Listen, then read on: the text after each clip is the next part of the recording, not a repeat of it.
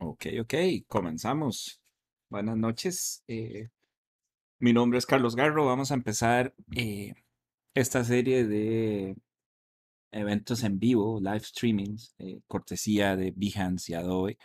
En este canal vamos a compartir algunos secretos para trabajar de forma más versátil usando Adobe Illustrator principalmente.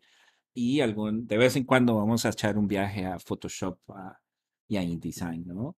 El día de hoy vamos a, a empezar con algo que me habían pedido y es cómo crear eh,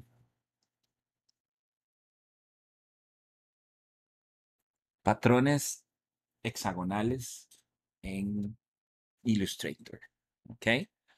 Para este, para este ejemplo voy a usar, aparte de Illustrator, voy a complementarlo eh, con los plugins de Astute Graphics. Eh,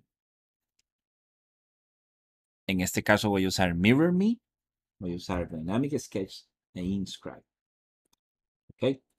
Em, la idea es que esto sea como eh, una serie de recetas podemos eh, replicar en casa podemos replicar en nuestra oficina sin ningún problema. Para la receta de hoy vamos a necesitar entonces un boceto, vamos a necesitar obviamente Adobe Illustrator eh, y los plugins de Astro Graphics eh, que ya les mencioné. Voy a usar Mirror Me, Dynamic Sketch y Inscribe. También voy a usar una tableta Wacom, puede ser una tableta de, de cualquier otro tipo, pero van a ver que es eh, mucho más sencillo para la parte donde empecemos a crear eh, los diseños basados eh, en trazos libres. ¿Ok? Eh, yo estoy usando hoy en este, hoy en día estoy usando una Cintiq de 22, eh, que es como el caballo de batalla. Yo le llamo la Excalibur porque es este, es de lo mejor. ¿Ok? Vamos a hacer switch a Illustrator. Ahí me disculpan, estoy aprendiendo a usar el, el sistema de transmisión, pero este, está, está fácil. Eh, vamos a hacer switch a esto porque hay que presentar de forma distinta las opciones. Para el ejercicio de hoy, eh, vamos a empezar, como decía la receta, con un, con un boceto, un boceto a mano. En este caso, yo, eh, cuando tengo que hacer este tipo de cosas, eh, tengo ya algunas plantillas prehechas que básicamente, eh, o en este caso en particular, eh, es una plantilla donde tengo dos hexágonos, los imprimo en la impresora, en la impresora láser que tenemos por acá, y empiezo a hacer sketch. y luego decido si alguna de esas partes donde estoy haciendo el sketch es útil para, para el proyecto. ¿Ok? Este es el sketch en el que me voy a basar. Y eh, básicamente lo que vamos a hacer es, a partir de ese sketch, esto que ven ahí, que es el, el, el boceto, eh, no digamos que escaneado, porque ya casi nadie usa escáner. Este, es básicamente le tomé la foto con el celular, luego lo, la enderecé con Photoshop y este, ya la tengo aquí lista para trazarla. Eh, y vamos a construir, usando eso como referencia, vamos a construir dos patrones. Uno que es este de acá. ¿no ven? Es un patrón eh, orgánico que se repite, está basado en un hexágono. ¿ok? De hecho, la, la idea de hoy es solo trabajar con hexágonos. eh, y este es el otro que vamos a usar. Este es como más geométrico, no sé, una, tiene un aire como azteca o maya, ¿verdad? El otro es como mucho más orgánico. ¿ok? Eh, y bueno, obviamente vamos a usar Illustrator. Eh, todavía no tenemos, eh, por lo menos en, Latinoamérica y creo que en Estados Unidos todavía no está la versión de Illustrator eh, 25.3. Eh, creo que la otra semana vamos a tener esa versión ya disponible para, para poderla instalar, que tiene como gran eh, adición la, finalmente la posibilidad de darle vuelta al canvas donde estamos trabajando. Entonces, esto va a beneficiar mucho, sobre todo a la gente que ilustra, a la gente que dibuja letras en vivo eh, o a cualquier diseñador en general, pero sobre todo creo que la gente que, hace ilustración se va a ver más eh, beneficiada con esto. ¿Ok? Entremos en materia. Voy a empezar creando un nuevo documento de Illustrator. Eh, anteriormente yo lo había hecho en pulgadas, pero ah, ahora en el transcurso de la tarde decidí que lo voy a hacer en píxeles. Voy a usar eh, como punto de partida eh, el perfil para web. Voy a crear un documento de mil por mil píxeles. ¿Por qué ese tamaño? Bueno, porque es un número redondo y este, es fácil de calcular ciertas cosas que vamos a hacer. Yo normalmente muevo la restarización de los efectos a 300 eh, ppi, por si hay sombras o algún tipo de transparencia o algo así, eh, para que se vea bien a la hora de exportarlo. ¿ok? Eh, está en RGB, entonces acuérdense de eso, por si el patrón que van a hacer eh, o el pattern que van a hacer es para, para impresión, pues hay que escoger CMYK, obviamente. Y aquí estamos. Vamos a empezar desde cero. ¿Ok? Eh, para efectos prácticos, les enseño cómo tengo en este caso configurado mi Illustrator. Tengo, para este ejercicio hoy, tengo deshabilitadas estas opciones. Eh, tengo deshabilitado el Scale Corners and Effects, el Scale Strokes y el Transform Pattern Tiles. El Keyboard Increment lo moví a un pixel y yo soy de la vieja guardia. Uso la opción esta que se llama Object Selection by Path Only. O sea, los, los, los trazados o los paths solo los, se pueden seleccionar desde el borde del mismo. Y no uso Bounding Box. ¿Ok?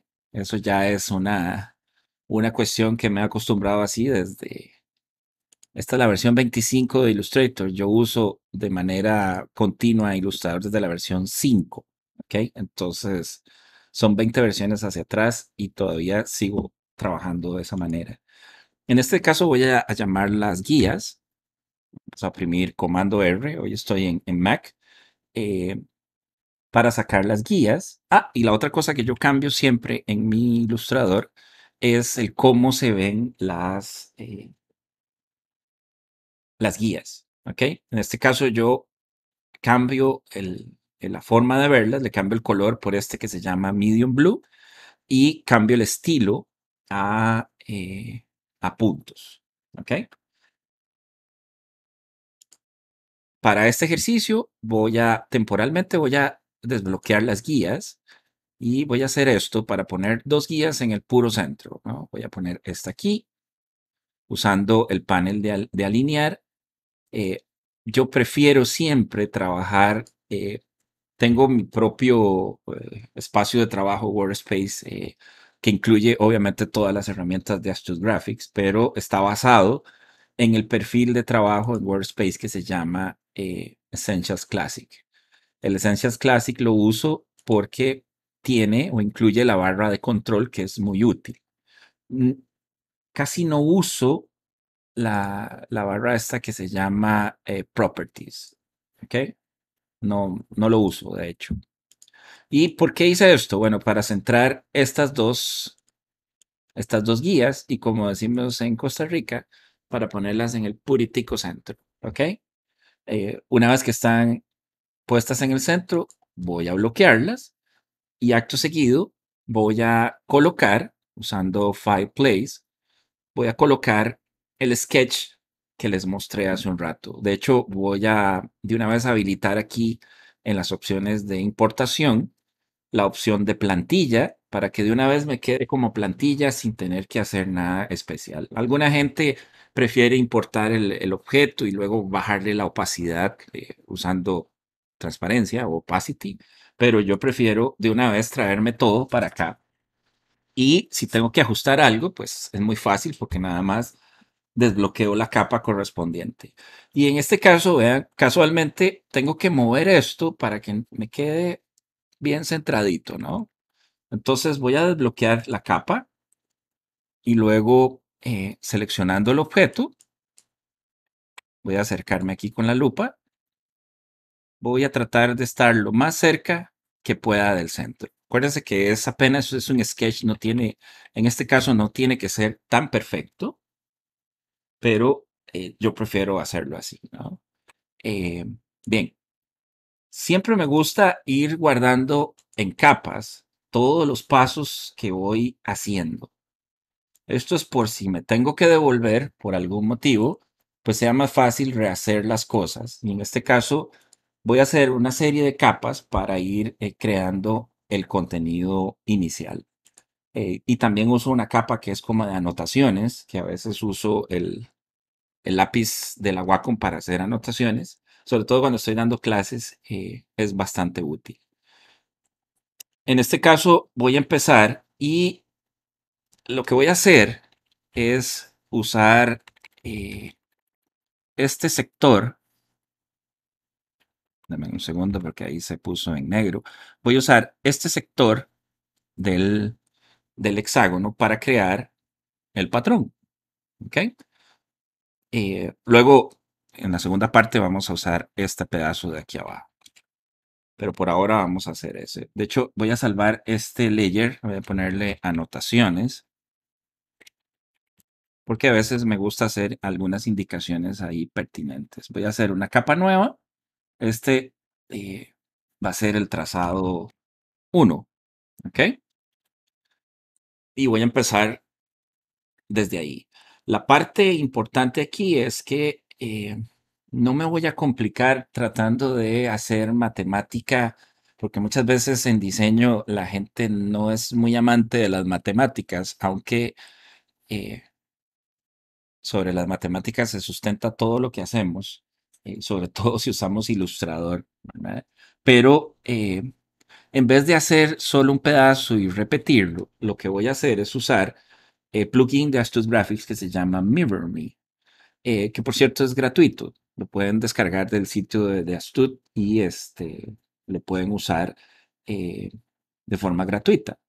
Alguna gente me dice, bueno, pero es que Adobe ya introdujo la opción que se llama aquí en repeat algunas de las opciones de, repetición radial en, retícula o malla y la repetición de espejo.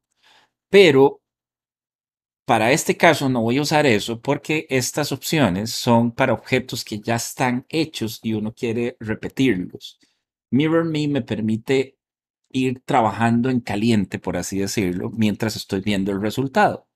Eh, ya se los voy a enseñar aquí. Lo primero que voy a hacer es tomar la herramienta, que es esta mariposita que ven ahí. Voy a ubicarla en el centro. Obviamente aquí mi, mi Mirror Me ya está ajustado porque eh, estuve practicando eh, ayer el cómo hacer esto. Eh, pero les cuento cómo funciona el, el, plugin. Básicamente, él toma un sector, que en este caso es este que está aquí, donde está la línea, lo refleja y luego lo duplica. ¿Ok? Entonces, básicamente, para este caso, yo voy a ponerle una cantidad de tres ejes. Aquí estoy moviendo la parte esta que dice number of axes. ¿Lo ven?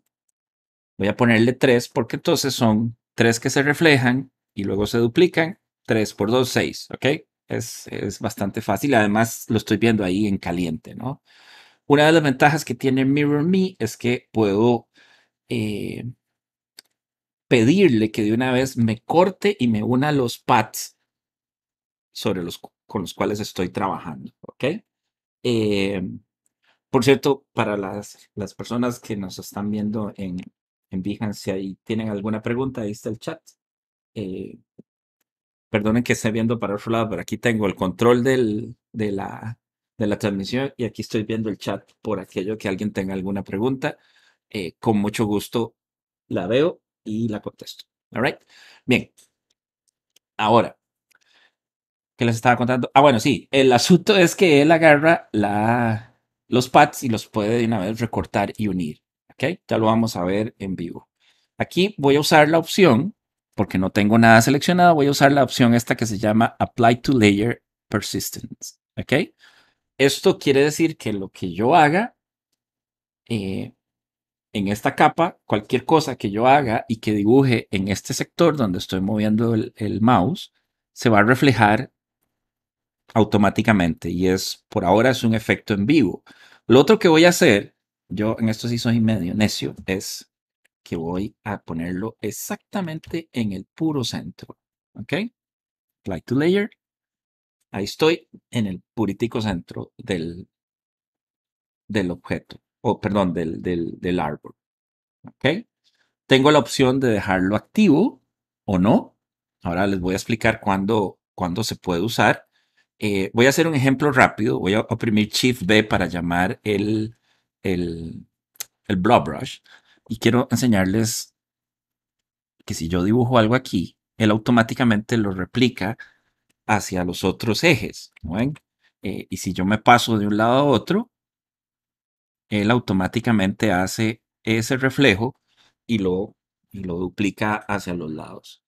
Eh, este posiblemente lo vuelva a hacer. eh, una de las cosas que más me gusta hacer son mandalas y uso obviamente Mirror Me, y, pero eso lo vamos a dejar para otro capítulo. Hoy no, hoy vamos a hacer patrones. Eh, y cualquier cosa que yo dibuje, digamos, si yo dibujo una, una elipse aquí, vean que la elipse se replica en todo lado. Si yo dibujo un rectángulo, ese rectángulo se replica en todo lado. Eh, pero en este caso, voy a trazar esta parte que ven eh, de color verde, o sea, voy a tratar de trazarlo.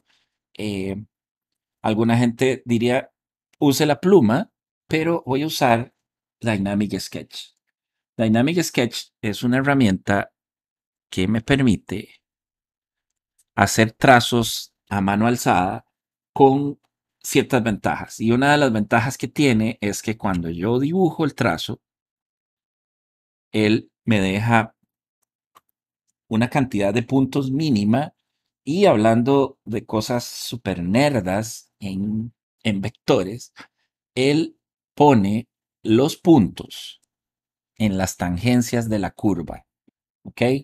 Esto puede ser que alguien diga, ay, ¿eso qué? Bueno, para los que hemos trabajado muchos años en vectores, eh, sabemos que esto es muy importante, porque entonces las curvas, eh, los puntos de las curvas, los puntos de anclaje que controlan las curvas quedan en las tangencias y es mucho más fácil de corregir. ¿Ok?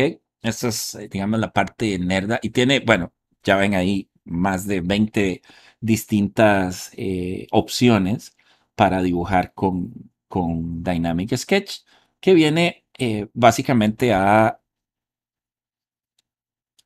a permitirme dibujar a mano alzada sin tener que estar quitando puntos de anclaje. Yo perfectamente pude usar también la pluma, pero en este caso no voy a usar la pluma, voy a usar Dynamic Sketch, que por cierto voy a llamar la- el panel. Eh, con Dynamic Sketch también puedo usar la presión del lápiz en la tableta que estoy usando, en este caso, para hacer la línea eh, de grosor variable. ¿ok? Yo puedo eh, jugar con esto y la ventaja es que es en vivo, o sea, es un efecto vivo. Lo puedo cambiar, lo puedo editar, etcétera, etcétera. Para este caso no voy a usar presión, sino que voy a hacer trazados normales y voy a empezar del centro hacia afuera. Entonces, vean, si yo hago un trazo aquí, oh, importante, voy a darle aquí la opción de reducir la apariencia básica y voy a devolverme a un punto que es eh, el valor predeterminado que, quiero usar. ¿Ok? Vuelvo a dibujar aquí. Vean que él automáticamente une, en este caso el programa une eh, los vectores porque yo le pedí a MirrorMe que lo hiciera, pero si yo apago esto y dibujo, vamos a dibujar otra vez otro trazado. Ya en este caso, el, ups, esperen un segundo aquí, me equivoqué. Eh, él ya no lo, no lo une. ¿Ok? Voy a volvérselo a aprender, aprenderle la opción esta, Apply to layer persistent. ¿Ok? Y vamos a seguir dibujando. Lo que sí voy a hacer es apagar este que dice active para que el trazado se mantenga y para que yo lo pueda controlar de una manera más sencilla. Vean esto, voy a quitar la opción esta que le prendí hace un rato, que es básicamente, me permite eh, hacer un trazado repetido y él decide cuál es el mejor. Digamos, este me sirve cuando yo quiero dibujar un círculo. Entonces, en vez de hacer solo uno así, yo lo que hago es que dibujo varias veces y él selecciona el mejor círculo. Bueno, para este caso, esta, esta opción no es importante. Eh, acabo de borrar el, lo que hice inicialmente, pero vamos a volverlo a hacer. Otra de las cosas maravillosas que tiene eh, Dynamic Sketch es que yo puedo ir cortando el trazado conforme lo voy haciendo. Eh. No estoy tocando ninguna tecla, aquí pueden ver mis manos, solo estoy usando el lápiz. Eh, y aquí yo puedo ir editando sin tener que hacer ninguna cosa extraña. Nada más es seguir el trazo de una forma muy sencilla. Vean cómo lo estoy haciendo. Es súper sencillo y es muchísimo más práctico que estar eh, haciéndolo tal vez con el lápiz, que es un poco incómodo. El pencil es un toque incómodo y también yo puedo, vean, continuar eh, trazados eh, preexistentes. Cuando, cuando yo quiera completar esto, vean, si yo toco el botón que dice Update, ya veo cómo se van construyendo los pads en los otros ejes, ¿ok? Pero sigamos para que no se me aburran aquí, porque yo sé que esto muchas veces es como ver el, pintura secarse en el, en la pared. Eh, ah, también puedo, si yo oprimo Alt, puedo dibujar en línea recta. ¿ven? Ojo, solo estoy usando el lápiz, no estoy usando ninguna otra, eh, en este caso con las líneas curvas, no estoy usando ninguna tecla modificadora. Eh, aunque yo podría usar, como ya vieron, podría usar Alt para crear líneas completamente rectas.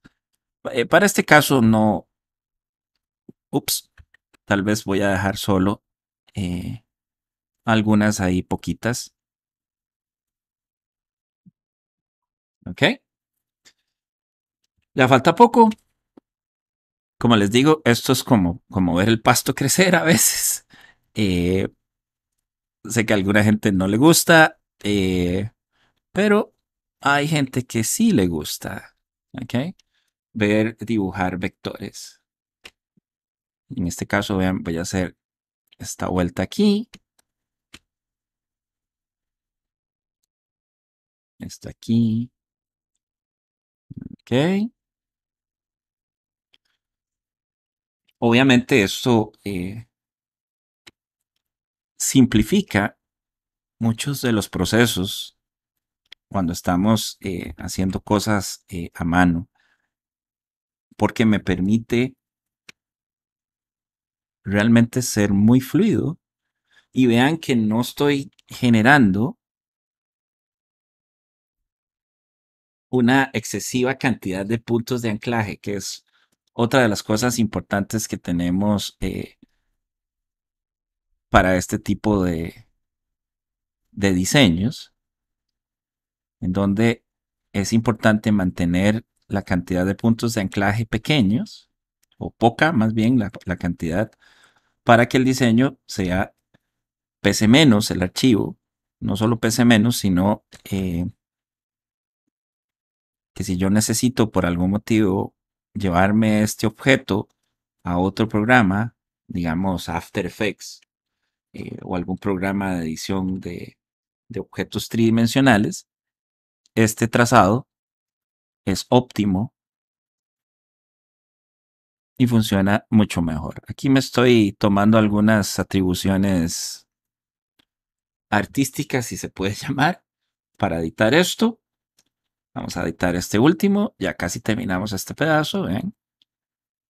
Y también yo puedo hacer esto así, ¿ven? Puedo decirle, no, yo quiero cortar aquí, quiero cortar aquí, eh, o puedo quitar esto, esta opción, y hacer los trazados así, como más continuos. Y luego, apretando la tecla Shift, puedo eliminar los excedentes de pad. Es como si llevara la tijera a otro nivel, ¿no? Para este caso voy a seguir dibujando con esta, esta preferencia porque es mucho más sencillo, ¿lo ven? Easy peasy. All right, ya casi terminamos.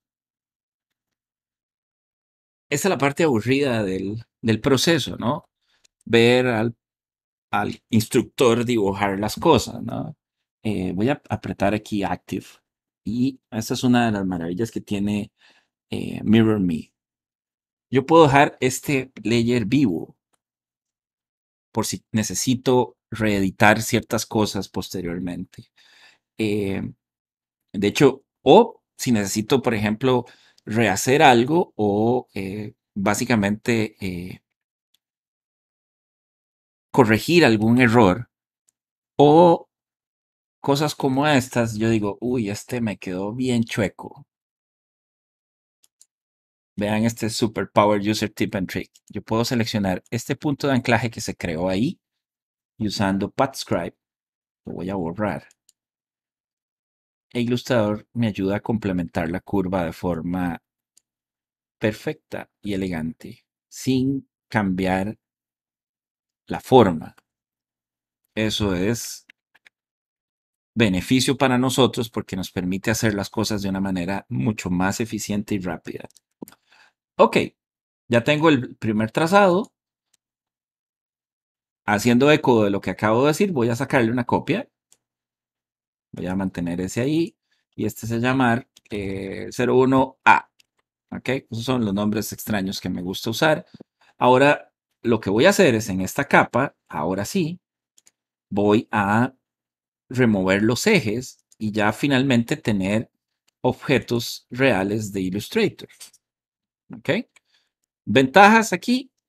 Eh, no tuve que hacer ninguna cuestión extraña de cálculo matemático y todo lo dibujé a mano con esto. Bien. Siguiente paso. Pongámosle color a esto. Para el color, eh, sí, voy a revisar cómo fue que lo pinté porque no me acuerdo muy bien, pero es muy sencillo. Además, voy a hacer una cosa interesante aquí. Eh, no necesito todos estos colores, ¿saben? La verdad. Yo puedo prescindir de ellos.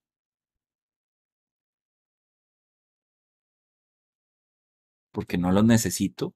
Y puedo llamar desde aquí los colores que sí este, voy a requerir. Porque los tengo guardados en un documento que es este se llama colores. Entonces, yo desde la paleta de muestras, en el, en el iconito que son como unos libros, ahí yo llamo otra biblioteca de colores, eh, que puede ser un archivo .ase, slash exchange, o puedo llamar otro documento de ilustrador, o también, como vamos a ver en algunas sesiones a futuro, puedo usar eh, Adobe Capture para capturar colores desde mi teléfono y puedo usar color.adobe.com para crear estas eh, muestras de color en línea y compartirlas con mis proyectos y a través de las bibliotecas de Adobe Creative Cloud. Ok, estos son los colores que voy a usar. Ya los había salvado con anterioridad, entonces no hay problema. Voy a empezar a pintar esto. Eh, voy a hacer un cambio aquí rápido y es que voy a cambiar eh, el relleno por el borde. Esto lo puedo hacer haciendo clic aquí y ya. Y me doy cuenta de una cosa. Hmm, aquí este pedazo debió haber sido una, un agujero del, del objeto. No hay ningún problema, vean, yo puedo seleccionar este con este y convierto esto en un compound path. ¿Okay? ¿Por qué lo estoy haciendo así y no con el Pathfinder? Bueno, yo soy de la vieja guardia, yo uso compound path para hacer este tipo de cosas. Y eh, pensando en esto, voy a empezar a pintar mi objeto, ¿no? En este caso, eh, voy a usar unos colores bastante vivos. Que ya había, obviamente había hecho con anterioridad. Presten especial atención a estos que estoy señalando. Porque estos van a ser la clave para la construcción del, eh, del hexágono. Todos vieron el hexágono de dónde salió. Salió de un boceto, ¿ok? Pero resulta que hacer patrones hexagonales no es tan sencillo como uno desearía a veces, ¿ok? Encontré este, que este proceso se puede simplificar o haciendo de forma muy clara los hexágonos, o en este caso, para que no se noten exactamente los hexágonos, lo que voy a hacer es eh, simular la transición sin que se vea expresamente el hexágono. Ahora, yo necesito inscribir esto en un hexágono. Desafortunadamente, eh, Illustrator no tiene las herramientas eh, para yo poder calcular la distancia a la que necesito hacer el, el, círculo en el que se inscribe este hexágono, pero sí lo tengo con los plugins de Astute Graphics. En este caso voy a usar eh, Subscribe eh, ese se me olvidó ponerlo en la, en la receta, pero bueno, voy a usar este que se llama Circle by Points Tool. Este me permite hacer un círculo haciendo clic en dos o en tres puntos específicos del diseño. Para este caso, mis puntos específicos van a ser, y aquí los voy a anotar, va a ser este, este y este. ¿Ok? Eh, las puntitas de la flecha. Right? Eh, voy a devolverme acá. Voy a seleccionar esto. Y esto funciona así. Vean. Yo selecciono la herramienta. Eh, aquí tengo prendida la opción que se llama Smart Guides para poder determinar, digamos, este punto de anclaje como punto de salida. Ahí dice Anchor en el cursor. Yo hago clic, muevo sin hacer clic otra vez, me paro en el siguiente punto, que sería este otro, hago clic y arrastro hacia la otra esquina, hacia la otra flecha. Y haciendo clic en esos tres puntos, yo hago un círculo perfecto que pasa por esos tres puntos. ¿Ok? En este caso particular, la herramienta me agrega otros puntos de anclaje, pero no hay ningún problema porque yo puedo hacer esto. Voy a quitarle el, voy a invertir los colores. De hecho, voy a pasar esto hacia, hacia atrás. Object, eh, Arrange Send to Back. Y usando PathScribe o Dynamic Shapes, voy a Vector Scribe, Vector Scribe eh, Dynamic Shapes. Voy a convertir esta, este círculo en un objeto dinámico. ¿Ok? Entonces, ya en este caso, Illustrator sabe que eso que están viendo ahí es un círculo. Eh, alguien dice, bueno, obvio. Pero no necesariamente. El programa no estaba instruido, al menos hasta la fecha, eh, para saber que eso es un círculo. Ahora, digamos, con los plugins nuestros de Astute Graphics se puede eh, hacer eso. Y yo le puedo decir aquí, mire, conviértame esto en círculo, en vez de círculo, en un cuadrado, en un rectángulo, en una elipse, que en este caso viene siendo lo mismo, o en una estrella, o en un polígono regular de seis lados. Hmm. Interesante. Ahora, voy a darle vuelta a esto. Voy a cambiar el ángulo a cero. Para tener exactamente en los vértices de este hexágono las puntas estas que quiero eh, que quiero usar como base para mi patrón. Ahora, tengo una situación aquí. Déjame pasarme a ver qué está pasando de este lado. Aquí, hola Iván, qué gusto tenerte por acá. Este, Iván Gómez, otro, eh, colega y, super profe, profe Iván, lo pueden seguir en, sus redes sociales. Eh, colega de hace muchos años, una de las personas más influyentes en, Colombia, en Latinoamérica, eh, de Adobe. está preguntando si es posible colorear durante el proceso de la creación del espejo. Sí, Iván, inclusive puedes usar este Life Paint en el proceso eh, y funciona. Yo decidí hacerlo así, pero, pero puedes ir, ir coloreando sin problema durante el proceso. Eh, qué gusto que estás aquí, de verdad. Eh, ahora bien, voy a eliminar algunas cosas que me están sobrando. Si oyen, ahí está mi perro ladrando. Este, acuérdense que en esta época de la pandemia se fue, se fue, se vuelve parte importante de nuestra, de nuestro entorno. Eh, y no hay problema. All Bien, voy a eliminar los sobrantes, por así decirlo, que me quedan aquí. Eh, los sobrantes, voy a, poner esta anotación, o eh, son estos pedacitos un poco incómodos que no deberían estar. ¿Ok? Bueno, no es que no deberían estar cuando yo genero el patrón, es un poco complejo de colocarlos exactamente donde van. Entonces, yo decidí que aquí sería mejor si tomamos provecho de el Shape Builder. ¿Ok? Y este lo voy a usar solo como herramienta intermedia. Vean, aquí voy a oprimir Alt para eliminar estos pedazos que me sobran. Créanlo o no, esta, esta herramienta a veces hace cosas muy interesantes, inclusive mejores que el Pathfinder. ¿Ok? Y para esto me resulta bastante práctico. ¿Ok? ¿Qué estoy haciendo aquí? Bueno, estoy eliminando estos pedacitos que se salieron, porque de todas maneras, eventualmente se van a pegar en el, en el proceso de la creación del, patrón. ¿Ok?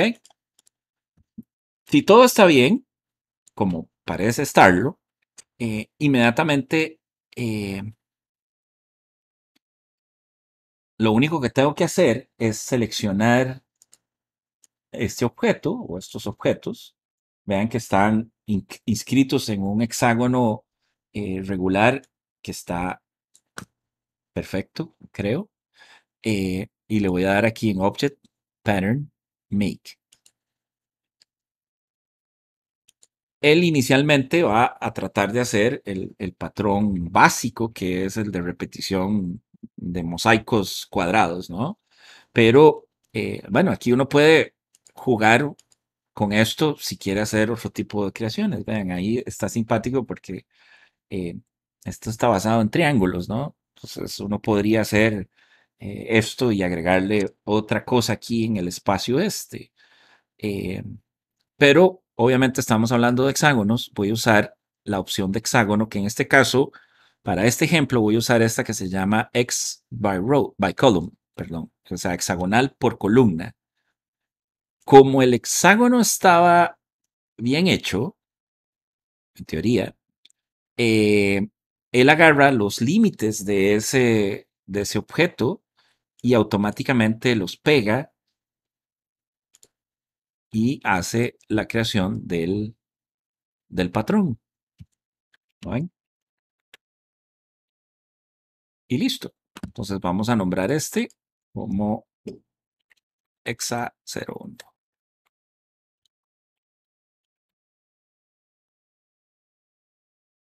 Perfecto. Cuando termino, toco el botón de Done y ya entonces podría utilizar ese, ese patrón en un objeto.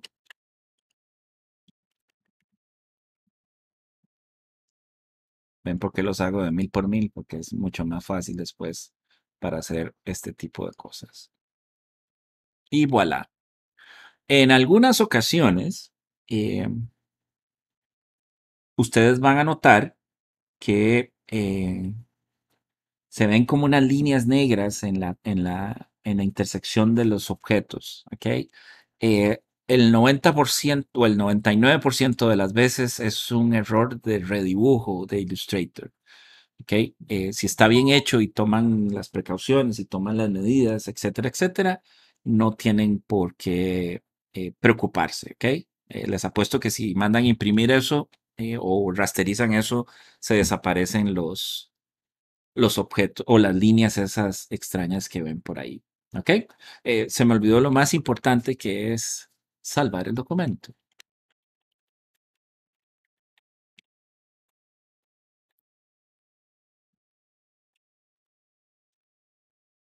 Es algo que siempre le repito a mis alumnos en la universidad y este, como dicen, hagan lo que yo digo, no lo que yo hago. Bueno, ya está salvo, ¿ok? Eh, en el caso de que están haciendo algún proyecto complejo, también en, las herramientas de Astute Graphics se encuentran este que se llama Autosavior. Autosavior también es gratuito eh, y sirve para prevenir, eh, digamos, ataques de pánico de los diseñadores, en donde yo puedo decirle que me recuerde salvar cada cierto eh, tiempo y en algunos proyectos o en algunos, eh, sí, algunos proyectos muy sensibles, yo también le prendo la opción de que me genere un respaldo. Eh, entonces, cada vez que salva, él hace un documento aparte, incremental obviamente, de, del último estadio de, salvado o del, objeto, o del objeto, no, del, del documento, ¿no? Entonces, cada vez que yo salvo, él hace un respaldo. Entonces, si algo pasa, ¿verdad? Acuérdense que Murphy vive con nosotros. Entonces, si Don Murphy decide salir, eh, tengo un respaldo. ¿Ok? Este es el... Eh, saludos a Jason Acuña. Qué gusto este, verte por aquí, Jason, de verdad. Este, hace días no nos vemos. Hijo, desde antes de la pandemia. Tenemos pendientes unos refrescos, ¿ok? para eso, para celebrar. Ok, eh, seguimos.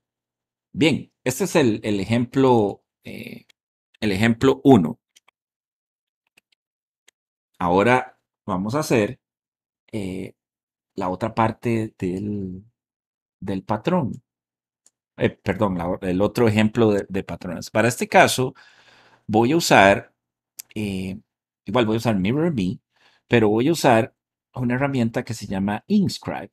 Inscribe, aquí la ven en la, en, las herramientas, eh, vive junto con la pluma, eh, es como un, rapidógrafo. ¿okay? Los que somos de la, de la vieja guardia, creo que Iván es también de la, de la misma época que yo. que, eh, básicamente los que tenemos como 30 años de andar en esto. en algún momento usamos el rapidógrafo, que era esta cosa con tinta china o tinta india que este, se usaba para, para rotular y para hacer cosas, ¿no? Eh, que era de nuestro caballito de batalla en ese momento. Eh, decidimos Inscribe es una herramienta que tiene en una sola herramienta todas estas que ven aquí de, Illustrator. Tiene la pluma, la pluma que agrega, la pluma que suma, la pluma que, este, o perdón, la herramienta para mover o cambiar los puntos de anclaje eh, que tal vez ustedes digan, bueno, ¿y eso qué? Bueno, vean el asunto que es distinto. Aquí este le voy a poner 002. En este caso, la herramienta, voy a cambiarle el color porque este no me gusta, al layer. Con una sola mano, ustedes pueden ir haciendo en caliente puntos de anclaje curvos y rectos eh, y o rectos sin cambiar de herramienta. ¿Ok? Vean que yo voy aquí dibujando, oh, vamos a poner colores default.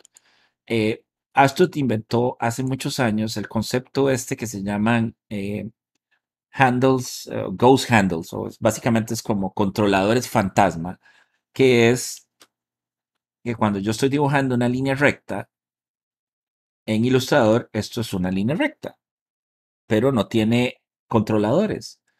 Con Astros yo nada más me devuelvo un toquecito y lo convierto en, en curva. ¿Ok? Esta es una de las herramientas que tiene más cosas eh, o más preferencias ¿ok? dentro de las de Astut. Inclusive tiene una preferencia que es maravillosa eh, que se llama When creating new points, ignore drags of less than y ustedes ponen el tamaño. Eso es para los que usamos esto, eh, que a veces de, a veces uno tiene pulso un poco alterado por algún motivo y esos pequeños arrastres del teclado a veces agregan puntos de anclaje que son innecesarios. Entonces, uno puede controlar eso. Además, bueno, hay muchas opciones para poner las anotaciones, etcétera, etcétera, eh, que eso eh, lo pueden ir revisando después. ¿Ok? Para el ejemplo, vuelvo a activar Mirror Me, pero en este caso me voy a llamar Mirror Me aquí, lo voy a poner en el puro centro. Eh, recuerden que yo lo puedo controlar desde aquí. Le voy a poner el X y el Y en 500. ¿Se acuerdan por qué lo hice de 1000? ¿Verdad? Eh, ahí está Iván confirmando, sí, él usó Rotring. Yo tenía Rotring y Statler también. Es más, por ahí me encontré una cajita que, era, que es de mi esposa, de plumas o de estilo eh, rapidógrafos. Obviamente está guardadita como pieza de museo en este momento. Voy a girar esto eh, siguiendo las manecillas del reloj, vean.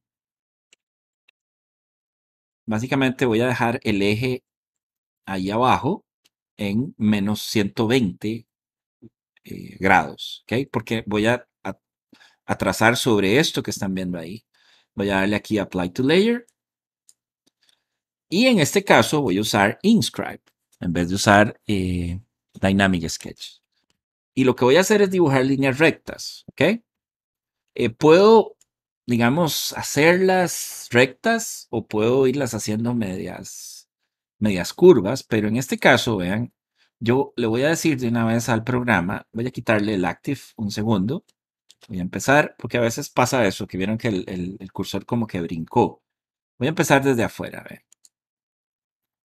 Y aquí, al igual que dibujar con la pluma, ¿ok? Puedo usar el Shift para mantener la línea recta, ¿ok? Aquí voy a quitarle el color de, de fondo. Pueden agregar en este momento música de ascensor o de supermercado mientras hago esto. ¿Ok? Esto es para que no les dé pereza y pueden poner la chica Ipanema o alguna canción de, ¿cómo era que se llamaba el que tocaba el saxofón? Kenny G, Richard Clayderman, Ray Conniff o alguno de esos eh, de esa época, ¿no? ¿Saben qué sería interesante también? Pero sin tener que pagar derechos de autor. Eh, dentro de las recetas que les estoy dando, estaría cool poner la música que uno puede escuchar cuando está haciendo cosas en Illustrator, ¿no? O cuando está diseñando en general, ¿no? Eh, hay gente que le gusta estar calladito, sin hacer nada o sin, sin decir nada. Eh, yo tengo que oír música cuando estoy haciendo algunos trabajos, sí o sí. Excepto que esté grabando un video o algo así, pero este, normalmente cuando estoy creando o cuando estoy eh, probando algo o estamos en, en labores de, de, testeo, eh, tengo música funcionando siempre, ¿ok? Principalmente, bueno, yo soy de la era del rock, y soy de la era de los ochentas. ¿Ok?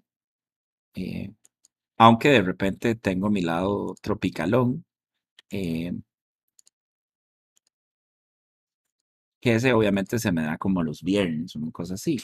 Este, aunque con la pandemia, como que ya uno no, no quiere ni salir, ¿no? Espero que todos estén bien, de verdad. Esto ha sido una locura. Ok, ya casi terminamos este pedazo. Aquí estoy haciendo puras líneas rectas, ¿ok? Nada del otro mundo. Eh, luego vamos a hacer una sesión de cómo usar Inscribe para dibujar o trazar, um, digamos, no, no una cosa tan básica que serían líneas rectas, sino algo un poquito más complejo, como trazar un logotipo o algún tipo de ilustración, porque ahí es donde se ve el poder real de la herramienta eh, en este caso. Aquí lo estoy usando, digamos que lo estoy como subutilizando si lo quieren ver así. ¿Ok? Vean cómo lo dejé ahí. Creo que ya cubrí todo. Sí, perfecto.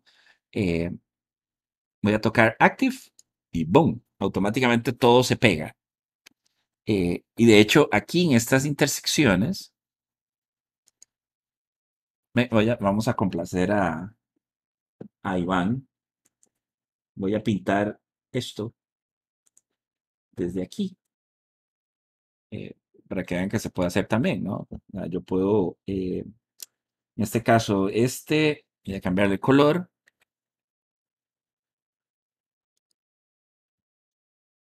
Y este lo voy a pintar de este naranja.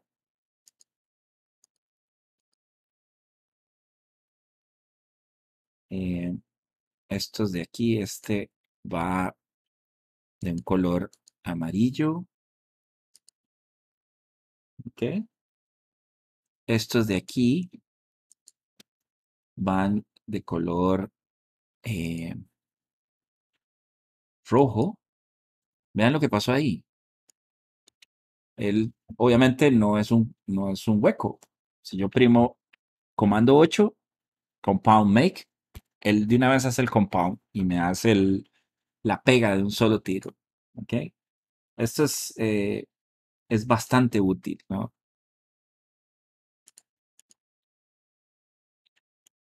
Ok, vamos a hacer este de acá. Este es de rojo también. Estoy viendo el,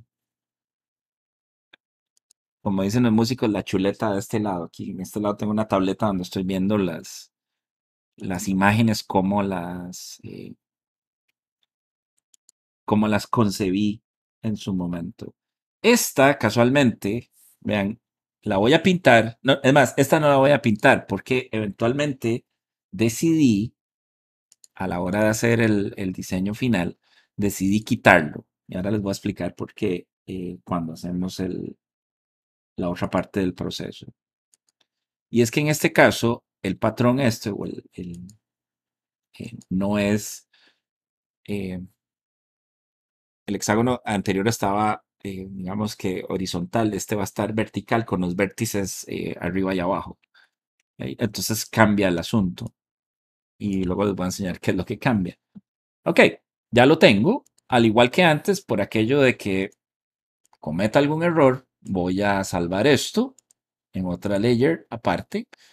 Eh, este va a ser 002A. ¿Ok? Y voy a remover los ejes. Voy a esconder la plantilla. ¿Ok? Y al igual que hace un rato, voy a hacer el círculo usando esta herramienta. Voy a tocar la tecla D para llamar los colores predeterminados o default. Eh, y luego con la X elimino el relleno y voy a hacer un círculo por tres puntas con tres clics. luego este círculo lo convierto en un dynamic shape, en una forma dinámica. Y una vez que está ahí, lo convierto en un eh, hexágono. Casualmente, así es como lo vamos a usar. ¿Ok? Ahora, voy a mandarlo hacia atrás, este hexágono, y voy a pintar eh, de este color, que es un color un poco más claro. Y eh, si ven la forma, porque en esto hay que, ¿cómo es? Hay que tener, es como los programas de cocina, hay que tener la receta ya hecha del otro lado por aquello de las, de las cosas. Vean que en este caso, en particular, yo decidí utilizar esta forma. eh, Esta es como un águila y es la que se repite. ¿Ok? Eso significa que los trozos que estaban aquí se desaparecen, pero también implica una cosa. Este objeto, ups, sorry, eh, Shift B, este objeto tiene que repetirse aquí. Más claro. vean. Ah, creo que está aquí. Es correcto. vean. Eh, déjame ver si estoy en el layer correcto. Ok, sí, ahora sí. No, este no. Comando A. Este se bloquea también. Chiquito. Listo. All right. Si yo decido hacer eso, yo tengo que buscar una forma de que este objeto se replique aquí en el patrón y de que este de acá se replique aquí y este se replique acá. ¿Ok? Cuando la primera vez que alguien me enseñó a hacer un, patrón rectangular, que antes había que hacerlos a pie, ¿ok? La lógica era así. Si uno tenía un cuadrado, ¿ok? Y aquí ponías una bolita, esa bolita uno tenía también que ponerla aquí abajo. Esa distancia era básicamente la altura del, del cuadrado. Entonces, yo lo tenía que copiar ahí. Si yo dibujaba una estrellita aquí, esa estrellita tenía también que eh, replicarse hacia allá en el patrón. Y ese movimiento era el ancho del patrón. ¿Ok? En un rectángulo es muy fácil, pero en un hexágono se pone un toque cuesta arriba, ¿no? ¿Por qué? Bueno, por, por los ángulos. ¿Ok? Pero con los plugins de Astute es muy sencillo. Lo primero que voy a hacer es eh, quitarle el, borde a esto y eh, voy a eliminar estas partes que no me sirven. ¿Ok? De hecho, ahí me quedaron estos leftovers. Ok, ahí está perfecto. Bien. Ahora, yo podría hacer toda la matemática y la cosa para calcular el ángulo y cuánta es la distancia y todo eso, pero la verdad es que eso es un toque complejo. Voy a usar una técnica poco ortodoxa, pero muy válida. Vean, voy a empezar dibujando un rectángulo. ¿Ok? X. No tiene, no le tomé ninguna, eh, ninguna medida. Este va a ser mi vehículo de transporte. ¿Ok?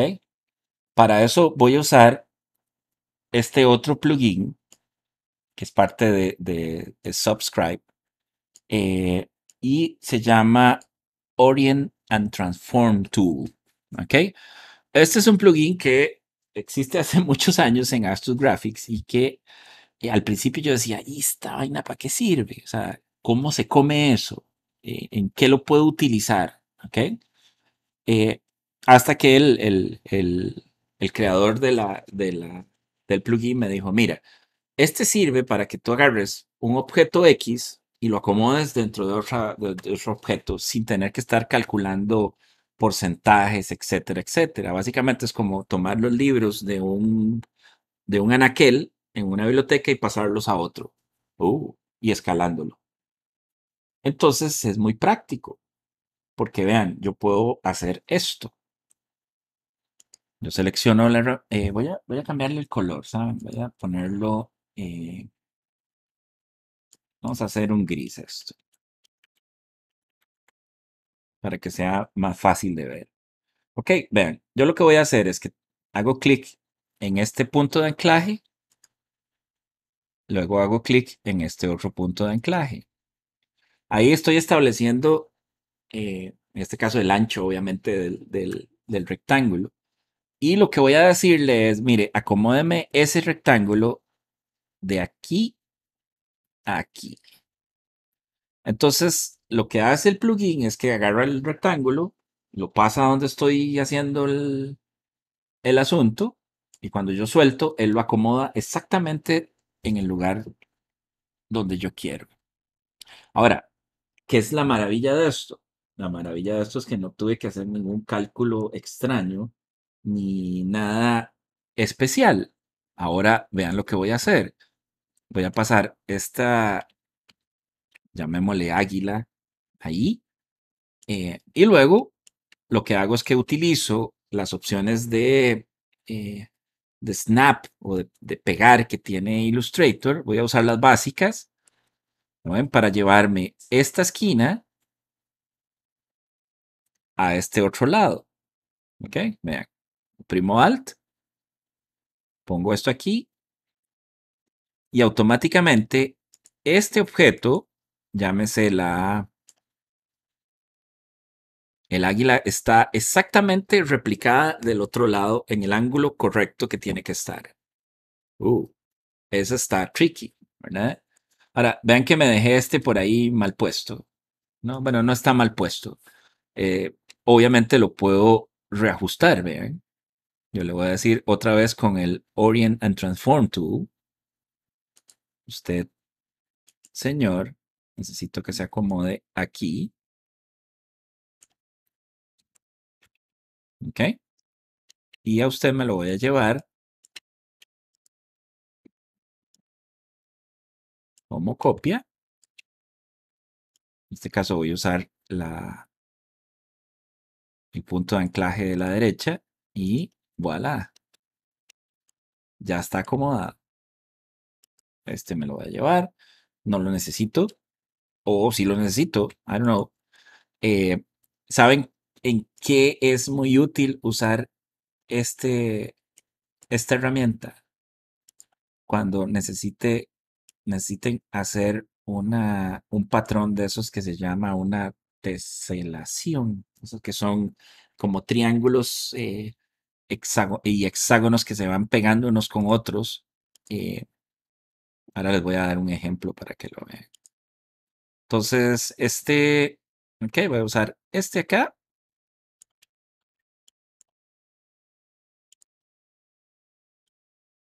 Esta, esto que estoy haciendo es una de las, de las razones por las cuales no uso el bounding box, porque a mí me gusta agarrar las cosas exactamente del punto donde nacen o el punto de anclaje especial donde están y luego,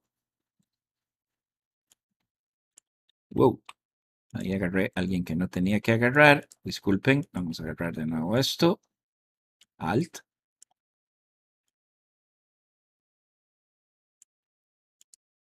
y eso es todo. ¿Ok? Elimino esto.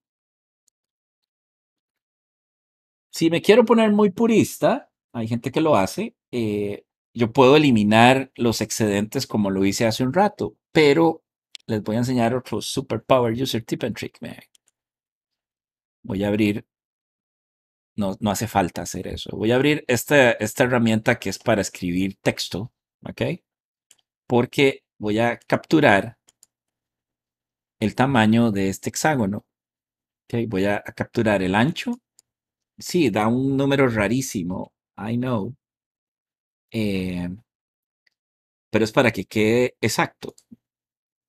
A pegarlo ahí. Oh, está la bolita playa de la muerte dando vueltas. Oh, oh. No pasó nada. Gracias a Dios. Suele pasar, ¿no?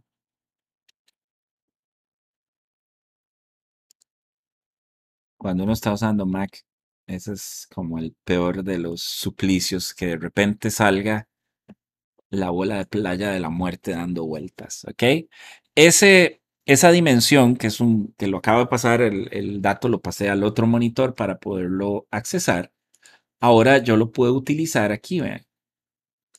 Eh, como les dije, algunos puristas quitan el excedente y todo eso, pero en realidad no hace falta. Vean, Object, Pattern, Make, igual que hace un rato, solo que en este caso voy a usar X by row, o sea, hexagonal por fila, ¿ok?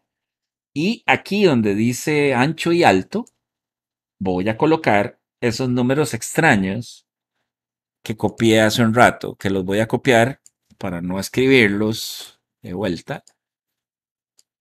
Este es el de aquí. Vean qué número más exótico.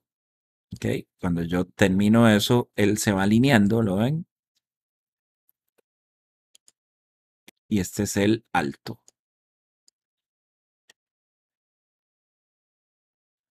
Y voilà.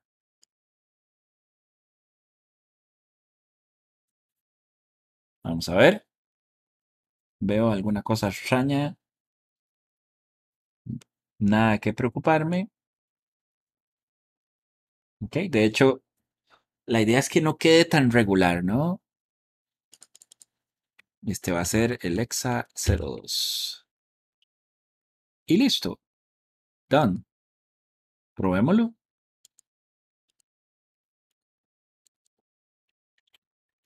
EXA 02. Hacemos un, un rectángulo nuevamente y le aplicamos el motivo, patrón, pattern, como quieran llamarlo, y ahí está. Sin mucha complicación. ¿Ok? Eh, ese es el... Ese es básicamente el, el- la sesión de hoy. ¿Ok? Vieron que, eh, bueno, si le restan todo lo que tuve que hablar, en realidad se hace bastante, de una forma bastante fácil.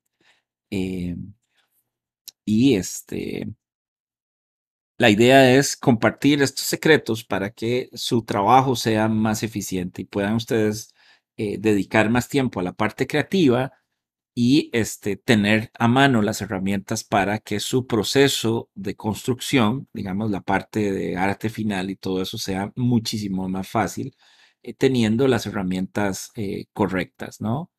Eh, para la próxima semana, de Ben 8, eh, vamos a hacer un caligrama, ¿ok?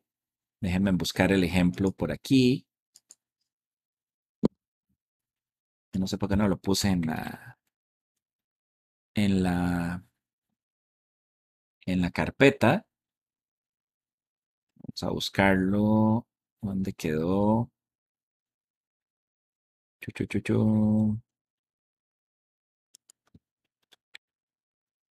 No sé por qué no me salía. Ok, vamos a hacer algo.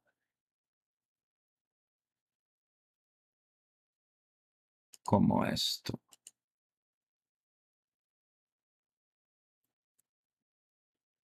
Ok. Este es un caligrama, que no es otra cosa más que un, eh, en este caso es un, un retrato que está hecho en base, en este caso, a la letra de una de las canciones de esta chica, Amy Winehouse.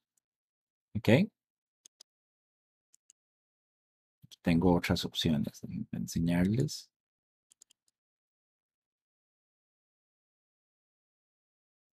¿Ok?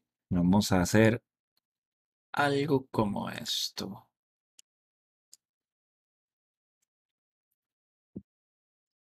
Bueno, de hecho voy a hacer este ejemplo como tal, ¿ok? Para lo cual vamos a usar eh, una foto, eh, ojalá en alto contraste porque funciona bastante bien. Vamos a usar un plugin de antaño que se llama Phantasm y vamos a usar el poderosísimo Find and Replace Art de Astro Graphics para cambiar cada punto por las letras de la canción. Este sí va a ser un poco más lento porque el proceso, el procesamiento de, los datos es, este, es un poco intenso, ¿ok? Eh, pero este es el que vamos a hacer la próxima semana. Eh, espero que les haya gustado. Eh, ahí al pie de la, de la transmisión van a ver mis redes sociales. Me pueden escribir, no hay ningún problema. Espero que les haya gustado. Gracias por los que sacaron el rato para, para acompañarme. Este es un placer que estén aquí, de verdad. cuídense mucho. nos vemos la próxima semana. Chao.